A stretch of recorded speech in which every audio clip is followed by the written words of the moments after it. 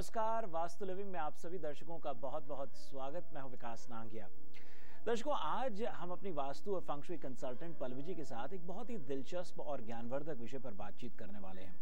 ये विषय कुछ ऐसा है जो जो सभी को अपनी ओर आकर्षित करेगा, खासतौर पर वो लोग जो नौकरी करते हुए व्यापार करने का सोचते हैं और जो लोग व्यापार में रह करके अपने बिज़नेस को और एक्सपैंड करने का सोचते हैं उन सभी के लिए है।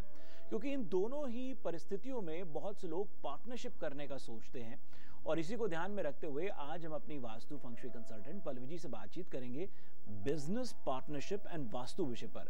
दरअसल बिज़नेस पार्टनरशिप को हम कई बार आ, सिर्फ़ कॉन्ट्रैक्ट तक ही समझते हैं कि अगर अच्छा कॉन्ट्रैक्ट होगा वो बात वहीं तक सीमित है और वो बात वहीं तक हमें लाभ दे जाएगी। लेकिन इसमें वास्तु कहीं ना कहीं आ, हमारी मदद कर सकता है। कैसे? ये आइए जानते हैं पलवी जी से। पलवी जी कार्यक्रम में आपका बहुत बहुत स्वागत। शुक्रिया। बहुत ही दिलचस्प विषय क्योंकि जब ये विषय के बारे में हमने सोचा बिज़नेस पार्टनरशिप एंड वास्तु तो इस बात का लग नहीं रहा था आभास नहीं हो रहा था कि भी बिज़नेस पार्टनरशिप और बिज़नेस डीड्स में कहीं वास्तु का लेन देन होगा। इस विषय को कैसे समझाएँगे हमारे दर्शकों को? वास्तु के साथ जुड़ने हुए जुड़े जुड़े हुए सारे लोगों को ये मानना ज़रूरी होता है या समझना ज़रूरी होता है कि वास्तु सिर्फ़ प्रॉपर्टी तक सीमित नहीं होता शेप ऑफ़ द लॉट तक सीमित नहीं होता है। कोई भी व्यक्ति का वास्तु उसके अनुसार किया जाता है जिसको आप कस्टम वास्तु बोल सकते हो। तो व्यक्ति दर व्यक्ति दिशाएँ बदल जाती है व्यक्ति दर व्यक्ति रिक्वायरमेंट बदल जाती है। सेम नेचर ऑफ़ बिज़नेस के साथ होता है कि अलग अलग तरह के नेचर ऑफ़ बिज़नेस की क्वालिटी के हिसाब से उस व्यक्ति को जो चलाने वाले ओनर है, उसके आइडियल सिलेक्शन के बाद उस प्रॉपर्टी को वास्तु कंसल्टेंट डिज़ाइन करता है। तो कॉमन यहाँ पे कुछ भी नहीं है। लोग कई बार सोचते हैं कि अगर हम ईस्ट फेसिंग घर को ओपन कर दें, जहाँ सामने से सूरज निकलता है तो सब कुछ हो जाएगा। अगर इतनी छोटी सी बात, अगर इतनी पावरफुल होती तो पूरे वर्ल्ड में नीडल बनाने से प्लेन बनाने तक की फॉर्मूला आ चुके हैं। तो इतना बड़ा छोटा सा साइंस छुप के नहीं रहता है, लोग सारे ईस्ट फेसिंग ही घर बनाते। लेकिन घर वेस्ट के भी होते हैं, नॉर्थ के भी होते हैं समटाइम साउथ के भी होते हैं।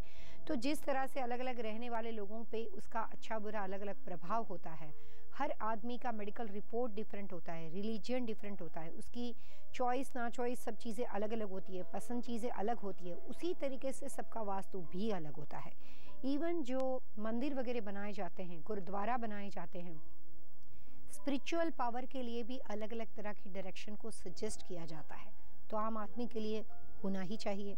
तो उसके हिसाब से जब आप पार्टनरशिप करते हो, दो लोग इकट्ठे होते हैं और कोई भी एक काम करते हैं तो उनके साथ जुड़े हुए दोनों लोगों के डायरेक्शन चार्ट एक दूसरे के साथ मिलने चाहिए। आप उसको ये बोल सकते हो कि उनकी पर्सनालिटी क्लैश नहीं करनी चाहिए, मिलनी चाहिए।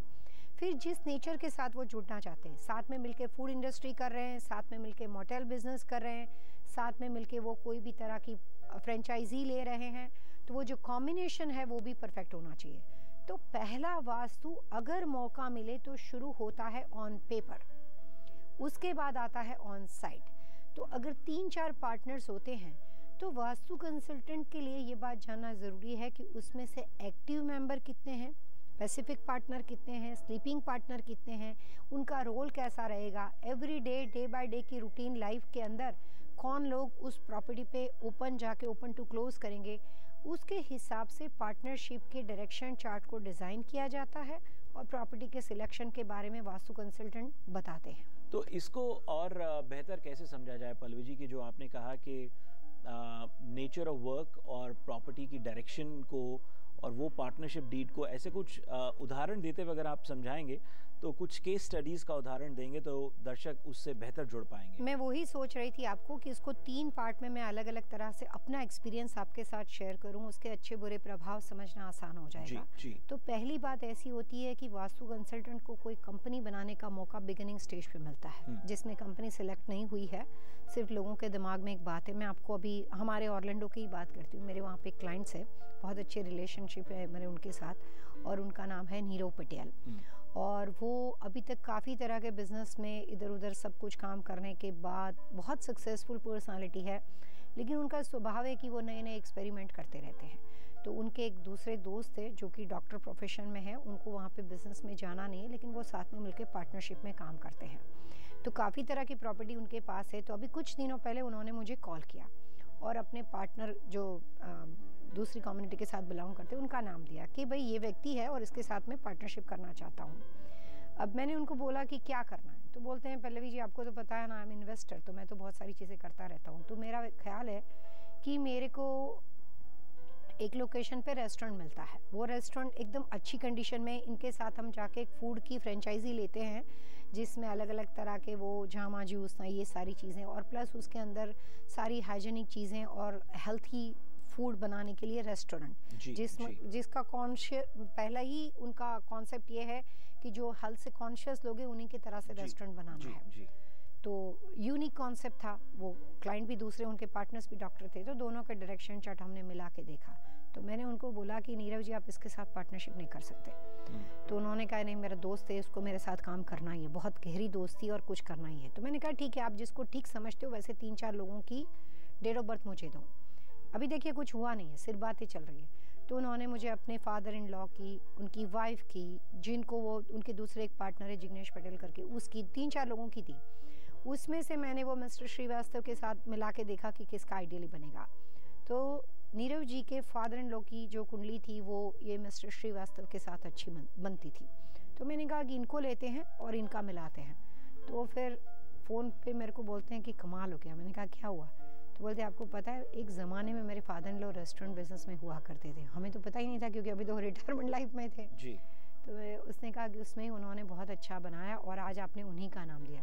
तो मैंने कहा देखो मैं आपको एक बात बताती हूँ। आप लाइफ में कभी भी रेस्टोरेंट में नहीं पैसा लगाना। डूब जाएगा। पार्टनर हम्म। कैसा भी क्यों ना हो। जिसको लेकर आ रहे हो, उसको अच्छी विश के साथ लेके आ रहे हो, नुकसान हो जाएगा। तो हमने उनके फादर इन लॉ को, फिर वो मिस्टर श्रीवास्तव को, फिर दो लोग और थे हमारे पास, एक जो उनके हमेशा पार्टनर जिग्नेश पटेल थे। इस कॉम्बिनेशन में जिग्नेश पटेल नहीं चल सकता था तो उसकी वाइफ को रखा। तो ऐसे करके हमने चार लोगों के कॉम्बिनेशन को हमने बनाया, और वो कॉम्बिनेशन पहले ऑन पेपर बना। यहाँ पे मेरे लिए अच्छा पार्ट ये था कि रेस्टोरेंट सिलेक्ट नहीं हुई थी। कुछ नहीं हुआ था कुछ भी नहीं हुआ था। खाली बस एक कॉन्सेप्ट आया कि कॉन्सेप्ट को डिज़ाइन करो ताकि वो परफेक्ट बने। तो हमने पहले ऑन पेपर पार्टनरशिप का डील बनाया कि नेचर ऑफ़ बिज़नेस रेस्टोरेंट की तरह फायर का हो तो ऐसे ऐसे चार लोगों को मिलकर हम कॉरपोरेशन बनाएँगे। पहले मैंने चार लोगों को सिलेक्ट किया। उसके बाद उन चार लोगों की डेट ऑफ़ बर्थ के हिसाब से मैंने उनको कंपनी के लेटर्स दिए। कि आप ये जो कॉरपोरेशन है उसकी शुरुआत करो डब्ल्यू एज एन विस्की जिसमें छः शब्द का बना हुआ पहला नाम हो। जैसे पल्लवी छलावड़ा है तो स्टार्ट फ्रॉम पी होता है उसके बाद उसके फाइव लेटर्स होते हैं। बाद में फिर छलावड़ा लगता है। तो पीछे कुछ भी लगे लेकिन फ़र्स्ट लेटर्स जो होते हैं इंपॉर्टेंट होते हैं। जी। हमने कॉरपोरेशन दिया उन्होंने उस कॉरपोरेशन को रजिस्टर्ड किया। तो अच्छे दिन के अंदर उसकी शुरुआत हो गई। अब हम प्रॉपर्टी की दशा को सिलेक्ट करने के लिए निकले हैं। मैंने उनको कुछ डायरेक्शन दी है कि ऐसे चार पार्टनरशिप की पर्सनालिटी के लोगों का रेस्टोरेंट इतने इतने फेसिंग हो सकता है। तो अभी वो उसको ढूंढेंगे और फिर वो डायरेक्शन का एड्रेस मेरे को भेजेंगे। मैं उसमें से शॉर्ट लिस्ट करूँगी और जो फाइनलाइज होगा उस प्रॉपर्टी को जाकर विज़िट करूँगी और फिर पूरा अंदर से इनसाइड वास्तु के हिसाब से बनेगा। बट ये मौका तब मिला जब ऑन पेपर शुरुआत थी। तो पार्टनरशिप के डील वास्तु कंसल्टेंट बहुत सोच समझ के पर्सनैलिटी के हिसाब से बना सकते हैं। बहुत ही अच्छा उदाहरण पलवी जी ने दिया कि नीरव पटेल जी का उदाहरण देते हुए कि किस तरह से जो है, जब बिज़नेस शुरू करने वाले थे, चार पार्टनर्स आ रहे थे, उसमें वास्तु किस तरह से इम्पोर्टेंट रोल प्ले करता था, किस तरह से उनकी कंपैटिबिलिटी को देखा गया ऑन लोकेशन का सुझाव दिया गया, और जैसा कि उन्होंने कहा कि वो ऑन लोकेशन जब जाएँगे तो वहाँ का वास्तु भी उस तरह से वो उनको गाइड करेंगे रेस्टोरेंट बिज़नेस के ऐसे कई केसेस हैं। दर्शकों यहाँ पर हमने पल्लवी जी से ये समझा कि जो बिज़नेस शुरू करने वाले थे, उसका उसके लिए बिज़नेस पार्टनरशिप में क्या क्या इंपॉर्टेंट होता है और वास्तु क्या क्या सुझाव देता है।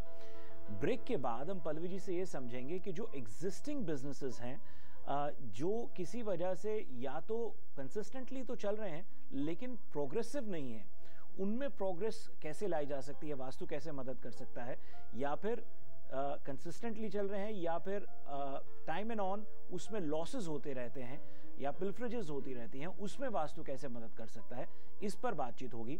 ध्यान रखिए, हमारा आज का विषय है बिज़नेस पार्टनरशिप एंड वास्तु। जाएगा नहीं, हम बहुत जल्द लौटेंगे।